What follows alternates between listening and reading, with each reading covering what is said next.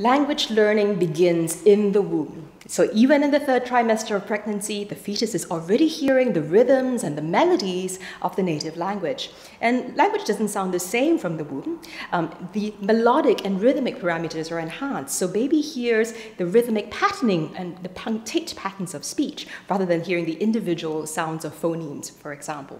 And this is a really important foundational step for language learning because in English, the rhythm cues you into where the words are. So the vast majority of English words, for example, begin with a strong syllable, like daddy, mummy, baby. Uh, and infants are really good at learning these statistics about speech and figuring out, ha, whenever I hear a strong syllable, this must be the start of a new word.